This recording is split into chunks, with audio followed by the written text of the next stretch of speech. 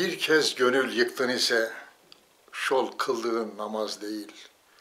72 millet dahi elini yüzünü yumaz değil. Hepinizi saygıyla selamlıyorum değerli dostlarım.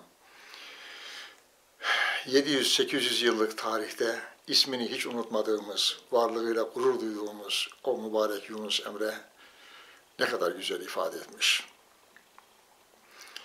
Yaradılanı hoş görün efendim. Yaradan hatırına hoş görün. Bu Aleviydi, bu Sünniydi, bu Hristiyandı, bu Müslümandı, bu dindardı, bu dinsizdi, bu ateistti diye insanları dışlamayın. Bu açık giyiniyor, bu kapalı giyiniyor, bu dindar görünüyor, bu yobaz görünüyor, bu aydın görünüyor, bu ahlaksız görünüyor diye insanları peşin fikirle hemen çabuk karikatürize etmeyin. Her insanın yani en kötü bildiğimiz insanın o kötü huylarından vazgeçerek gerçekten çok değerli, çok iyi, çok mübarek bir insan olma şansı ve ümidi vardır. Bugün çok hoşumuza giden, çok dürüst, çok dindar, çok ahlaklı, çok iyi bir insan olarak bildiğimiz kişilerin ise yarın bir anda ahlakının bozulup hırsız, uğursuz, meymenetsiz, vicdansız, zalim, karaktersiz birisi olma tehlikesi var. Kimdir bunlar? Efendim bunlar biziz işte, insanız. Dünyada Birleşmiş Milletler'in son verdiği bilgilere göre 7 milyar 600 milyon insan var. Bunlar hepsi Hazreti Adem'in evlatları. Başkalarını karılarken, başkalarını kötülerken acaba kendimize baktık mı? Başkasında gördüğümüz zaman suçladığımız, gördüğümüz hataları, eleştirdiğimiz tarafları kendimiz yapmıyor muyuz? Veya elimize o imkanlar, o fırsatlar geçse yapmayacak mıyız? Elbette ki çok dürüst insanlar var. Elbette ki herkes kötü değil. Herkes iyi de değil. İşte deminki e, açıklamaya çalıştığım gibi iyi insanların kötü olma gibi bir tehlikesi var. Kötü insanların da iyi olma, iyi insan olma gibi bir şansı var. Onun için diyor Yunus Emre, yaradılanı yaradandan dolayı hoş görün. İnsanları siyasi fikrinden dolayı veya düşüncesinden dolayı hatta dini inançlardaki hatalarından dolayı eleştirmek ayrı bir meseledir. Hakaret etmek, dışlamak, onu ortadan kaldırılması icap eden bir virüs, bir tehlike, bir düşman gibi görmek ise çok daha korkunç bir durumdur. Tabii ki eleştirelim, tabii ki hatalarımızı birbirimize söyleyelim. Zaten cemaatleşme, partileşme, fikir teatisi, istişare, televizyonlardaki konuşmalar, işte sosyal medya, gazetelerdeki e, yazıp çizmeler, insanların oturup da bir kahvede veya evde sohbet etmeleri, herkes ben ne söylersem doğrudur, herkes beni dinlesin diye değil, herkes birbirinin fikrinden yararlanmak ve ortak doğruyu akıl ve bilim yolunda bulmak. Bunun için bunlar yapılır. Ama insanlar Allah'a kul olacağı yerde kula kul olmuşsa, ha benim bir şey söylememe, düşünmeme, eleştirmeme gerek yok, böyle bir hakkım da yok. Benim tabi olduğum kişiler benim adıma her şeyi düşünür, her şeyin doğrusunu onlar bilir, onlar yapar derse, onun Allah'a filan inancı yoktur. Onun Allah dediği ya partisinin başkanı, ya tarikatının şeyhi, ya bilmem nesinin şefi. Aslında onun listesinde Allah diye bir şey yok. Onun Allah'ı bunlar. Halbuki doğrusunu, do, doğruyu düşmanımızda da görsek, takdir etmek, yanlışı dostumuzda da görsek, eleştirmek gibi vicdani bir sorumluluğumuz var. Hazreti Peygamber'in vefatından e, işte iki sene sonra Emiril Müminin yani Müslümanların reisi olan Halife Ömer, tabi Müslümanların, o günkü halkın daha doğrusu sadece Müslümanların değil, orada Yahudiler var, Hristiyanlar var. E, Medine döneminde pek fazla müşrik olmasa da e, az çok başka inançlardan insanlar da var. Herkese adil, eşit, herkese e, hakkını vermeye çalışan bir insan. sorumluluğunun bilincinde bir insan. Akşam evine gelip de başını yastığa koyduğu zaman kendi kendine sorarmış. Ya Ömer, bugün Allah için ne yaptın? Yani Allah sana bir gün daha verdi, ee, sana lütfetti. Bu 24 saat içerisinde Allah rızası için ne yaptın? Efendim yedim, içtim, konuştum, gezdim, dolaştım. E bunlar Allah için yapılmış bir şey değil ki. Allah için yapılanlar başkası için yapılanlardır. Allah'ın kulları için ne yaptın? Senin cebinde 10 lira var, öbürüsünün cebinde 10 kuruş yok. Eğer o insanın yüzünden cebinde parası olmadığını anlayacak bir vicdana sahipsen insansın. Çatlayıncaya kadar 10 çeşit yiyip de Allah olmayanları da versin diye kenara çekil, çekilmişsen senin bir yabani hayvandan bir farkın kalmamış demektir. Çünkü aslan da ceylanı alıyor, parçalıyor, karnına doyurduktan sonra çekiliyor, karnını kaşımaya başlıyor. Ondan bir farkın kalmaz. Kur'an-ı Kerim'de diyor ki Hazreti Peygamber'e, tabi onun şahsında bizlere, bütün insanlara, onurundan, gururundan dolayı ihtiyacını dile getirip de gelip senden bir şey isteyemeyen insanlar vardır. Ama sen onların yüzünden, bakışından, halinden, tavrından dertlerini, sıkıntılarını anlarsın diyor. Yani anlayın diyor. Adamsanız anlamanız lazım diyor. Yani sokakta gezerken veya çarşıda, pazarda dolaşırken, iş yerinizde, büronuzda, neyse nerede, hangi ortamdaysanız, bir çocuğun, bir yaşlının, bir engellinin, bir hastanın hali, durumu sizin dikkatinizi çekti mi?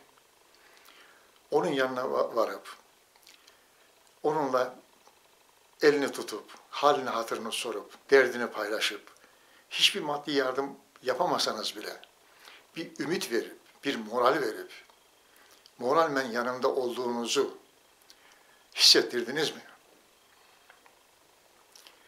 Acısı, ızdırabı varsa onu paylaştınız mı?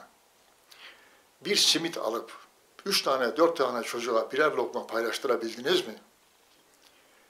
Kilosu 8-10 liraya satılan şekerlerden yarım kilo alıp önünüze gelen çocuklara birer tane verebildiniz mi? Verebildik mi?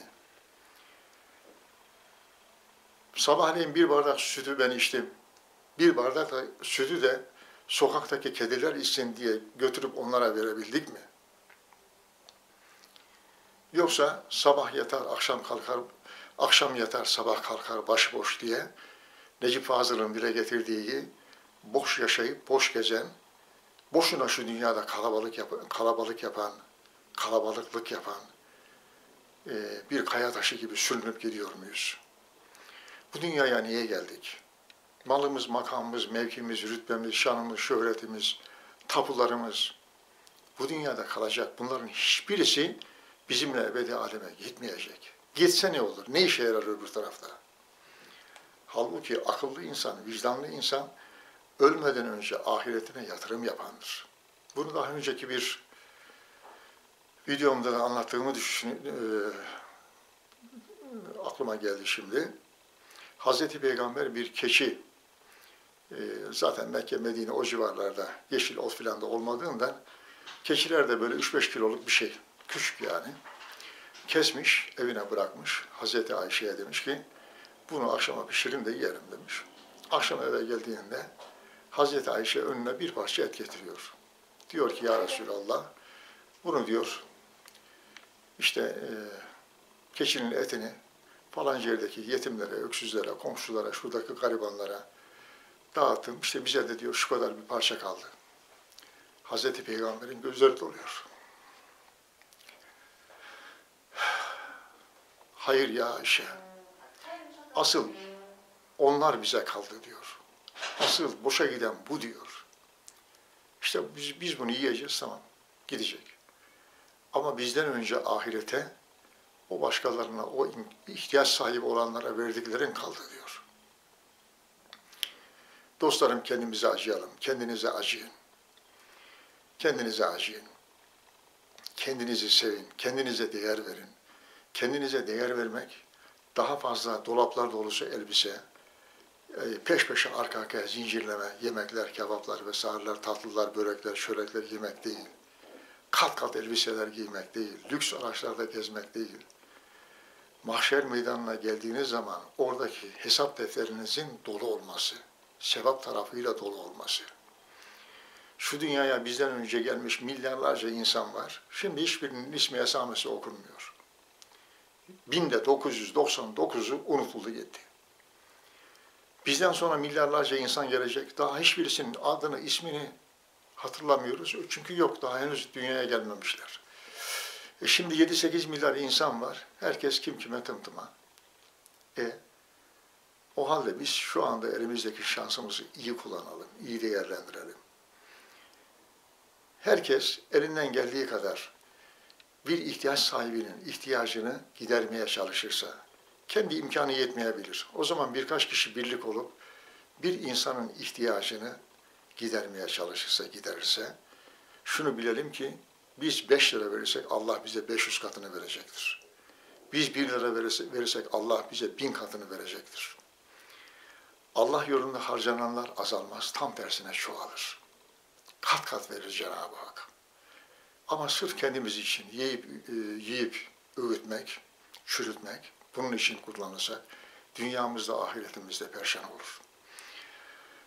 Yani akşam olduğu zaman, aynaya baktığımız zaman kendi kendimize soralım. Ey Ahmet, ey Mehmet, ey Ayşe, ey Fatma, ey işte Ali, ey Veli. Bugün Allah rızası için ne yaptın? Allah için bugün ne yaptın? Allah'ı memnun edecek, Allah'ın hangi kuluna ne gibi bir iyilikte bulunabildin? Ha, çok şükür şunu yapmıştım, yapmaya çalıştım. İnşallah Rabbim bundan memnun olmuştur diye vicdanımız bize güzel bir sinyal gönderiyorsa işte mutluluk oradadır. Yoksa lüks araç, lüks araç dediğiniz nedir ya? Metal değil mi? Dört lastiğin üzerine giden bir metal kutu değil mi? Ev dediğiniz nedir? Beton duvar değil mi? Elbise dediğiniz nedir? Çul çaput değil mi? Ama insan dediğimiz varlık nedir? La yesani ardi ve la semai velakin yesani kalbi abdil mümin. Yerler gökler beni içine alamaz. Beni mümin kulumun, bana inanan kulumun kalbine sığarım ben diyor Yüce Allah'ımız. İşte kalbimizde Allah'a yer açalım. 150, 200, 300, 500 metrelik evlerde, şatolarda, yalılarda oturmak insanı mutlu etmiyor. İngiltere'nin işte o kaza sonucu vefat eden Prens Charles'ın eski eşi Prenses Diana. Tabii e, okuduğumuzu okuduğumu söylüyorum. Kendisiyle bir prensten ayrıldıktan sonra bir röportaj yapmışlar. Koskoca Buckingham Sarayı'nda bir prensestim ama sanki kendi iş dünyamda bir hapishanedeydim diyor. Demek ki prenses olmak, bir kraliçenin gelini olmak, prensin eşi olmak, bir eli yağda bir eli balda olmak, her türlü imkana, imkanı elinin altında olmak onun gönlünü mutlu etmiyor. Herkes bir prens, herkes bir prenses, herkes aynı değerde, herkes Allah'ın kulu. İnsanları inançlarından dolayı yargılayıp, sorgulayıp cehenneme atmaya hakkımız yok. Eleştirelim ayrı bu konu, tartışalım, konuşalım. Ama bu sevdiğimizden dolayı olması lazım. Düşmanlık yaparak değil. Partileri eleştirelim, cemaatleri eleştirelim, e, görevini yapmayan insanları eleştirelim ama kendimizi de eleştirelim. Ben bunları eleştiriyorum ama ben yaptım mı? Yapabildim mi? Yani başkası şunu yapması, yapmıyor demesi kolay. Peki sen yaptın mı? E ben de yapmadım. E o zaman ne konuşacağız? Ne konuşacağız? Kendi yapmadığınızı söylemeyin demiyor mu Yüce Allah'ımız? Ediyor. O halde o halde şunu e, tekrar söyleyeyim. Bizim evlatlarımız, bizim çocuklarımız, torunlarımız, eşimiz, malımız, mülkümüz bizim için ne kadar önemliyse herkes için, herkesin malı, canı, ırzı, namusu, onuru, evladı, yakını o şekilde de, e, e, değerlidir. O halde hiç kimseyi incitmeye, hiç kimseyi hırpalamaya hakkımız yok. Efendim bu Hristiyandı, bu Müslümandı, bu Yahudiydi, bu ateistti, bu dindardı, bu dinsizdi, bu şuydu, o buydu. Hayır. Hayır, buna hakkımız yok. Kime düşman olacağız? Yüce Allah'ımız bunu bize Kur'an-ı Kerim'de haber veriyor. فَلَا عُدْوَانَ illa ala zalimin. Zalimlere düşman olun diyor. Zalim nedir? Başkalarının malına ve canına zarar veren insandır. Zalimdir.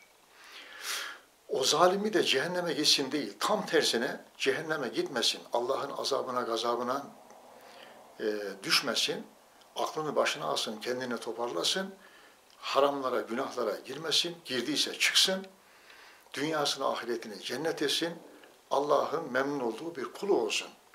Bunun için eleştirmek mecburiyetindeyiz. Ben şahsen bunu yapmaya çalışıyorum. Bunu yapmaya çalışıyorum.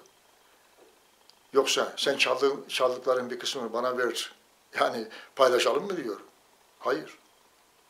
Yapmayın kardeşim, çalmayın. Öksüzün, yetimin, fakir fukaranın, halkın, insanların, garibanların, evine ekmek götüremeyen insanların, işsizlik yüzünden, faturasını ödeyemediği yüzünden, e, ev sahibinin ev sahibinin yüzüne bakamadığı e, sebebiyle intihar eden insanların acısını, vicdanını içimizde hissediyorsak, haksız davranan insanlara karşı da yapma kardeşim. Allah'tan kork, utan biraz. Nedir bu savurganlık, nedir bu israf, nedir bu kibir, nedir bu gurur diye vicdanımız ve imanımız onlara fren olmayı bize emrediyor. Yani bizim insan olmamızın bir özelliğidir bu. Eğer bunu yapmıyorsak, rüzgar ne taraftan esiyorsa o tarafa dönüyorsak, kim güçlüyse onun yanında yer alıyorsak, kim zayıfsa ona vuruyorsak, o zaman biz kendimiz zaten birer firavun olmuşuz. Kendimiz firavun olmuşuz. Böyle bir insanın kıldığı namazdan ne hayır gelir, tuttuğu oruçtan ne hayır gelir, yaptığı haçtan umreden ne hayır gelir. Onun için değerli dostlarım, hem kendimizi hem başkasını eleştirirken, severken veya e, tenkit ederken onun dindarlığını, dinsizliğini değil, insanlığını öne alalım. Bu insan mı değil mi? Gerçek manada insansa o görevini yapar zaten. Gerçek manada insan değilse bir kısım ibadetlerle, bir kısım göstermelik e, aklınca sevap kazanacağı, kendi kendine uydurduğu hurafelerle Allah'ı kandırmaya çalıştığını zanneder ama kandıran e, kendi kendisi olur. Yani sadece kendisini kandırmış olur. İnsanları kandırdım diye Allah'ı da kandırmış olmaz. Yani e, yeryüzünde Allah'a inanan var, inanmayan var. Şüphe eden var. Başka türlü inananlar var. Puta tapanlar var. Hristiyanlar var, Yahudiler var, Müslümanlar var, Budistler var, Hindular var, deistler var, ateistler var. Hiç kimsenin kalbini kimse değiştiremez. Kimse başka yöne yönlendiremez. O halde herkes Allah'ın kulu olduğuna göre biz bütün insanlara Allah'ın kulu olarak şerefli birer varlık olarak bakmak zorundayız.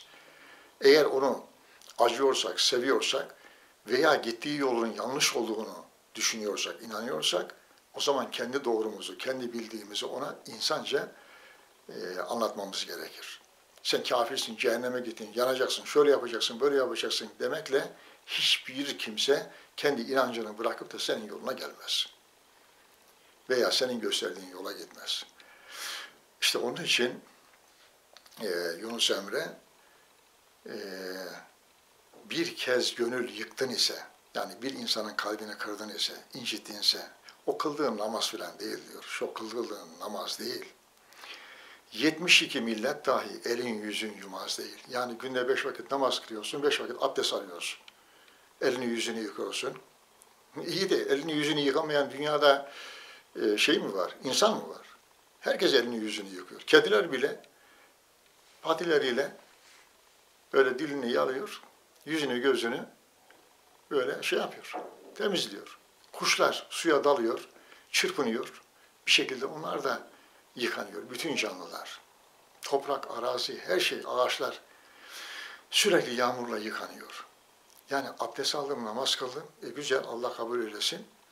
Ama bu asla ve asla kalp kırma hakkı bize vermez. Tam tersine kalp yapmakla, gönül yapmakla, insanları kazanmakla, insanların acısını dindirmekle Allah'ın rızasını kazanacağımızın yolunu bize göstermesi lazım. Mehmet Akif öyle diyor ya, yarayan bir, e, kanayan bir yara görsem, yanar ta yüreğim, onu dindirmek için kamçı yerim, tekme yerim, aldırmada geç git be adam diyemem, aldırırım, çiğnerim, çiğnenirim, hakkı tutar kaldırırım. Dostlarım haktan yana olalım, güçlüden yana değil. Sizin dünyada güçlü zannettiğiniz, her ağzından çıkan kanun zannettiğiniz, her şeye hükmediyor, işte şunu da yapar, bunu da yapar dediğinizden çok daha güçlü Allah var. Allah'tan korkmayıp da e, onlardan korkarsanız, Allah sizin arkanızdan, sizin üzerinizden desteğini ve rahmetini keser. Nefsinizle ve şeytanınızla baş başa kalırsınız. Ne nefsiniz ne şeytanınız size yardım etmez. Sizi ancak cehenneme sürüklerken arkanızdan itekler. Yani söylemek istediğim şu, bütün insanları sevelim ama önce kendimizi sevelim. Kendimizi sevmek de işte anlattığım şekilde benim inancım, benim görüşüm, benim düşüncem böyle olur. İnançlarımı, inan, inandıklarımı sizlerle paylaşmaya çalıştım. İnşallah faydalı olmuştur. Başka bir sohbette buluşmak üzere. Hepinizi saygıyla selamlıyorum. Allah'a emanet olun efendim. Hoşçakalın.